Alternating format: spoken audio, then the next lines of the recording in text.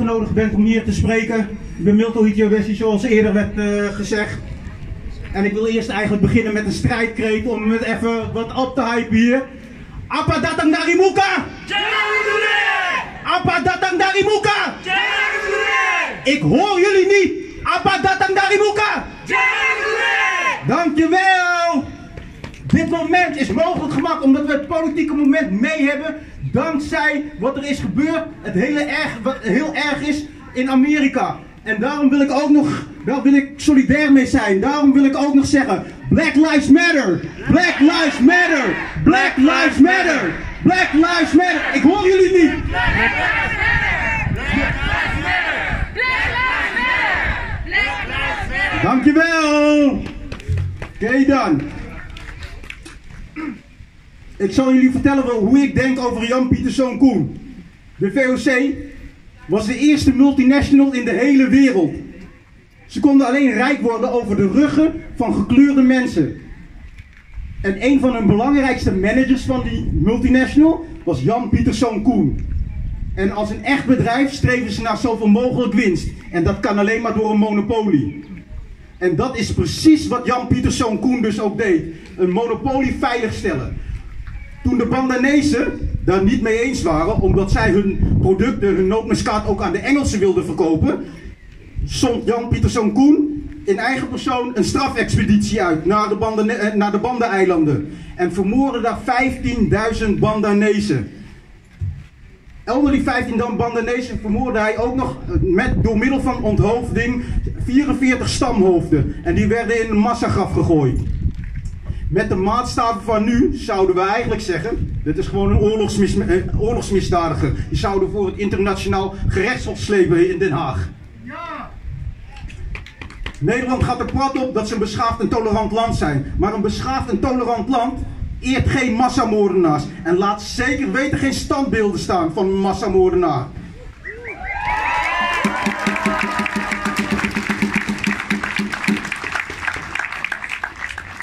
En we moeten ook af hè, van uh, dat standbeelden voor eeuwig zijn. Standbeelden komen en gaan door de eeuwen heen. Dus dat standbeeld van Jan Pieterszoon Koen kan voor mij part gewoon ook echt het IJsselmeer in hoor. Ding is. Uh... dat is standbeeld, dat we, misschien is naar het museum, dat is een compromis van ons. Van onze kant. Want als het aan mij ligt, gaat hij gewoon onder water. En we krijgen de schuld.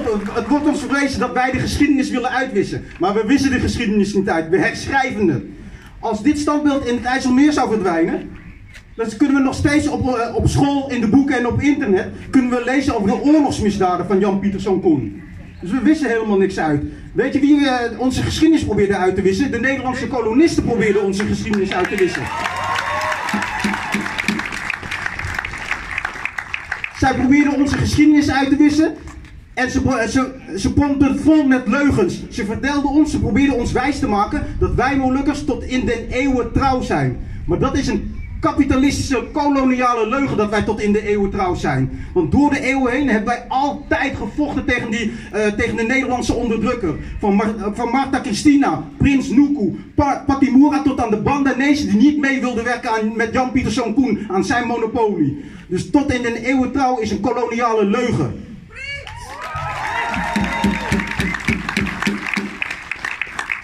En nu proberen ze ons wijs te maken dat we die beelden niet weg mogen halen. Uh, zodat zij hun versie van de geschiedenis door onze strot kunnen duwen. Maar dat weghalen van beelden, dat wij willen, dat hebben we van hun geleerd.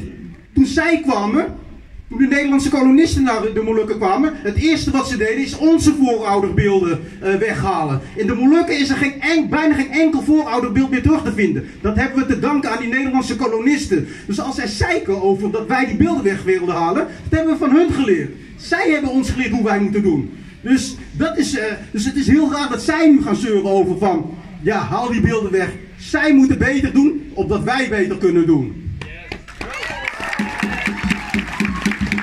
En als de beelden weg zijn, dan kunnen wij onze versie van de geschiedenis, onze kijk van de geschiedenis, kunnen wij uh, uh, naar boven halen, kenbaar maken. En dat is een versie van de geschiedenis waar de eerste multinational van de wereld, de VOC, met hun manager Jan Pieterszoon Koen, een oorlogsmisdadiger is. Een multinational die ons Molukkers onderdrukte, uitbuiten en vermoorden voor winst, voor, voor, voor een portemonnee. En de eerste stappen voor, die, voor onze versie is het weghalen van het standbeeld van Jan Pieterszoon Koen.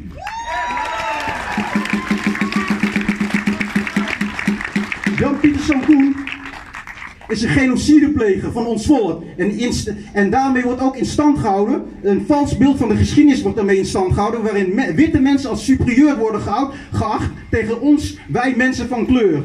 En dat gebeurt nu nog steeds. De, uh, dat gebeurt nu nog steeds. Vorige week kwam Baudet hier zijn bloemetje leggen. Omdat hij verdient op onze racisme. Hij weet dat hij met zijn racisme stemmen over onze zwarte ruggen haalt. Hetzelfde ook met Klaas Dijkhoff van de VVD. Hij, die zegt gewoon, standbeeld kan prima laten staan. Omdat hij weet dat hij daar stemmen mee verdient. Racisme is een politiek verdienmodel over onze zwarte ruggen. En dat moet echt afgelopen zijn dat ze over onze, over, over onze gekleurde en zwarte ruggen politiek uh, geld verdienen en stemmen verdienen. Maar ik heb ook goed nieuws. Dus ik zie, ik zie echt veel mensen staan. Echt boven mijn verwachting. Maar we zijn echt niet alleen. Wij maken hier, wij in Horen, maken onderdeel uit van een wereldwijde beweging. In Zuid-Afrika in 2015 werd het beeld van Cecile Rhodes, was ook weer een of andere imperialist, wordt weggehaald in Zuid-Afrika. In, eh, in, Amerika worden de beelden van voormalige slaafeigenaren worden neergehaald. Uh, dat hebben we gemeen met hun. Wat we ook gemeenschappelijk hebben in Engeland. Het beeld van een slavenhandelaar die 80.000 Afrikanen heeft verhandeld voor geld. Is vorige week daar uh, neergehaald en in de rivier gegooid. En wij hier in Nederland kunnen een voorbeeld nemen aan die Belgen. Want in België hebben ze het beeld van koning Leopold die 10 miljoen Congolezen vermoord heeft, hebben ze neergehaald. Koning Leopold is degene die als een Congolees niet hard genoeg werkte, zijn handen afhakte. En nogal logisch dat hij weg wordt gehaald. Dat zouden wij ook moeten doen met Jan Pieterszoon Koen.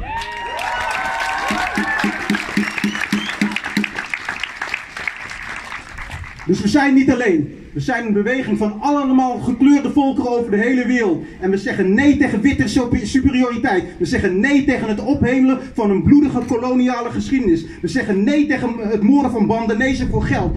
En we zeggen ook nee tegen Papua's. En uh, ook tegen, we zeggen ook nee tegen de onderdrukking van Molukkers en Papua's nu in Indonesië. Die niet over zich, zichzelf kunnen beschikken zoals de Bandanezen tegenover Jan Pieterszoon Koen.